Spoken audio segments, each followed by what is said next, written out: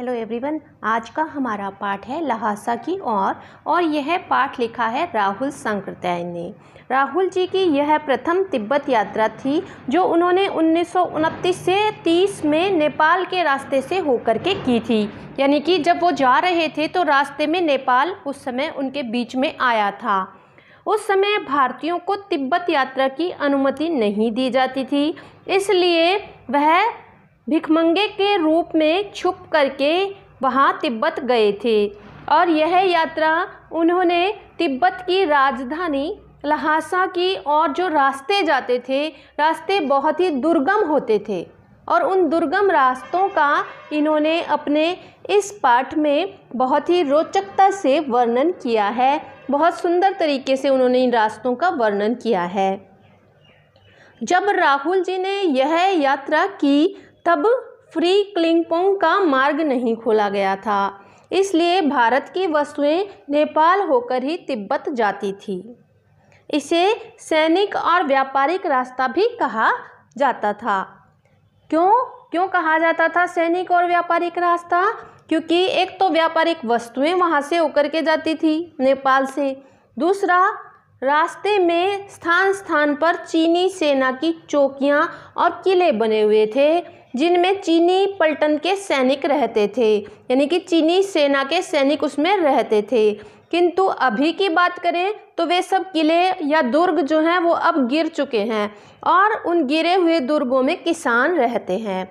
मार्ग में उन्होंने अनेक कठिनाइयाँ देखी और वह बताते हैं कि वहाँ पर किसी भी प्रकार का जातिगत भेदभाव नहीं पाया जाता है। और ना ही वहाँ की महिलाएँ पर्दा करती हैं।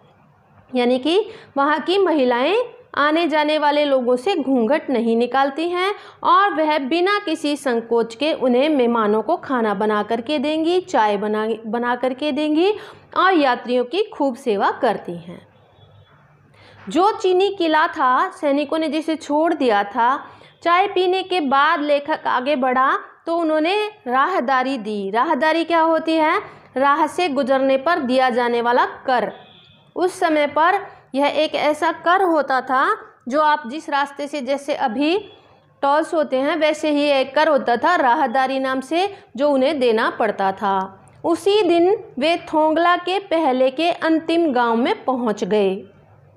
जब वो अंतिम गाँव में जाते हैं तो वहाँ उन्हें सुमति, जो उनके जान पहचान के हैं, वो मिलते हैं।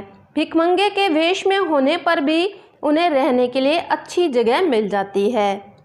लेखक पाँच बार, साल बाद यहाँ पर इसी एक यात्री के रूप में पहले भी बह गया था, यानी कि अब वह पाँच साल बाद दोबारा इसी स्थान की यात्रा कर रहा है। किंतु जब पहली बार आया था तो उसे किसी ने भी अच्छी जगह नहीं दी थी। लेखक को एक सबसे खतरनाक रास्ता जो है, उस रास्ते का नाम है डांडा थोंगला। डांडा थोंगला पार करना था और तिब्बत का सबसे खतरनाक स्थान डांडे है। यहाँ दूर दूर तक मार्ग के दोनों ओर कोई भी गाँव नहीं है। यानी कि रास्ता बिल्कुल बीहड़ है, सुनसान है और इसीलिए वहाँ पर डाकुओं ने अपनी रहने की जगह बना ली है। ऐसे स्थान पर खून की कोई परवाह नहीं की जाती। अगर किसी की हत्या भी हो जाए तो सरकार इस ओर कोई भी ध्यान नहीं देती। हथियार का कानून ना होने के कारण वहाँ लाठी की तरह लोग पिस्तौल और बंदूक साथ में रखते थे और इस मार्ग पर अनेक खून भी हो चुके थे। लेकिन लेखक ने कोई परवाह नहीं की, क्योंकि वह क्यों नहीं की उसने परवाह? क्योंकि वह भिकमंगे के वेश में था। पाठ को आगे बढ़ाने से पहले मैं आपको बता देती हूँ कि अगर आपको इससे संबंधित कोई भी प्रश्न है तो आप कमेंट सेक्शन में कमेंट करके ज़रूर पूछें। और अगर आपको इससे संबंधित कोई जानकारी है तो वह भी कमेंट सेक्शन में कमेंट करके बताएँ। अगला पड़ाव जो था लेखक का, वह 16-17 किलोमीटर दूर था। और लेखक का जो सहायक था, उसने यह कहा कि दो घोड़े साथ में हो तो हम अच्छे से इस रास्ते से पार जा सकते हैं। और अगले दिन वो दोनों दो घोड़ों पर सवार होकर के चलते हैं। दोपहर तक डांडे गाँव तक जा पहुँचे। वहाँ हज़ारों मील तक पहाड़ ही पहाड़ दिखाई दे रहे थे। और पहाड़ कैसे थे? जिन पर बिल्कुल भी पेड़ पौधे लगे हुए नहीं थे। जो वहाँ का सबसे ऊँचा स्थान था उसे देवता का स्थान कहते हैं। और वहाँ पर पत्थरों के ढेर थे, जानवर के सींग पड़े हुए थे और रंग बिरंगे कपड़ों से झाड़ियों को सजाया हुआ था। यानी कि कुछ कपड़े झाड़ियों पर सजा दिए गए थे। लेखक के साथ कुछ और लोग भी थे, यानी कि घुड़सवार भी थे, जो घोड़े की सवारी कर रहे थे। अब चढ़ाई जो थी वो थोड़ी कम रह गई थी, लेकिन उतरना था उन्हें नीचे की तरफ़। लेखक का घोड़ा जो था वो बहुत ही सुस्त हो गया था, थोड़ा वो थक गया था। इसलिए लेखक अन्य सवारों से पीछे रह गया, यानी कि अब वह रास्ता थोड़ा भटक गया, क्योंकि उसका घोड़ा थोड़ा थक गया था। बड़ा धीरे धीरे सा चल रहा था तो आगे चल, आगे जब वो चल रहे थे तो उन्हें रास्ते में दो रास्ते दिखे। दो रास्ते में से एक जो सही था, उस पर लोग चले गए और गलत रास्ते पर लेखक चल पड़ा। एक डेढ़ मील जा कर के उसे पता चला कि वह तो गलत रास्ते पर जा रहा है। उसने वापस मुड़ कर के सही रास्ता लिया। तो गाँव से एक मील की दूरी पर लेखक सुमति से चार पाँच बजे शाम को मिल जाता है। सुमति, इस पर बड़ा गुस्सा हो जाता है कि तुम कहाँ चले गए थे? किंतु लेखक ने घोड़े की धीमी गति का बहाना बना करके उसे शांत कर दिया। बाद में जब वो लंकौर पहुँचते हैं तो वे एक अच्छी जगह पर ठहरते हैं।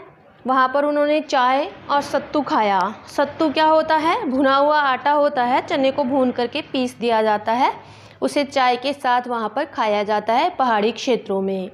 पहाड़ी क्षेत्रों में जब यात्री यात्रा करते हैं या काम पर जाते हैं तो सत्तू और चाय खा करके जाते हैं, जिससे उन्हें रास्ते में कमज़ोरी महसूस ना हो।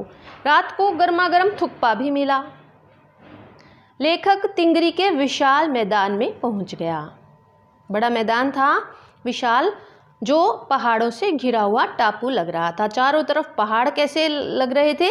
जिसे पहाड़ों का कटोरा सा बन जाता है, उसके भीतर एक टापू होता है, वैसा ही वह पहाड़ दिखाई दे रहा था।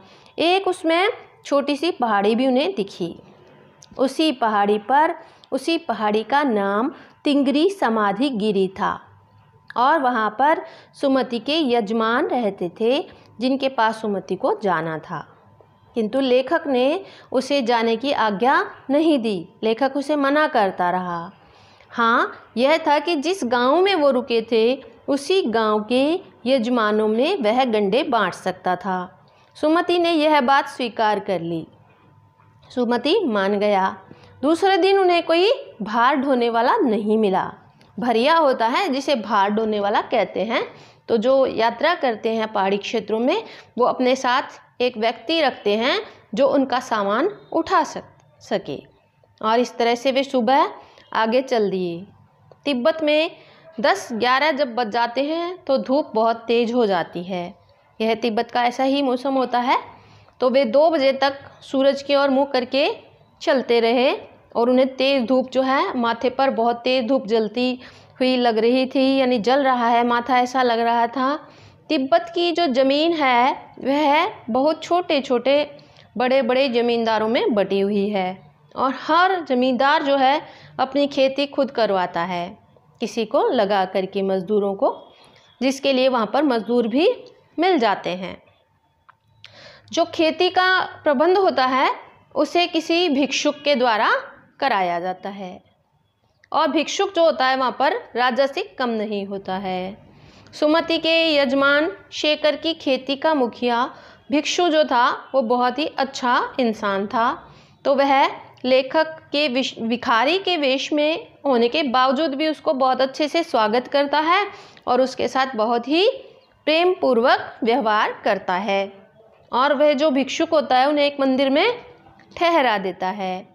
इस मंदिर में बुद्ध वचन अनुवाद की हस्तलिखित 103 पोथियाँ रखी हुई थी।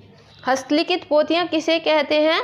जो बुक्स हाथ से लिख, लिखी हुई होती हैं और उन्हें एक रस्सी पे बाँध करके रखा, पोथी बना दी जाती है। बाँध करके जब एक बुक का रूप दे दिया जाता है तो उस प्रकार की बुक्स जो थी वो वहाँ पर 103 थी जो हाथ से लिखी हुई थी और वे मोटे और अच्छे कागज़ पर लिखी गई थी। इसी कारण से एक एक बुक का वज़न जो था पंद्रह पंद्रह किलो के लगभग था। लेखक उन्हें पढ़ने में लग गया और सुमति दूसरे दिन यजमानों से मिलकर के लौट आया। तिंगरी गाँव वहाँ से दूर नहीं था। इस प्रकार से उन्होंने अपना अपना सामान पीठ पर लादा और अपने मार्ग पर चल दिए। इस प्रकार से यह राहुल शंकरतयन की तिब्बत यात्रा का वर्णन करता है।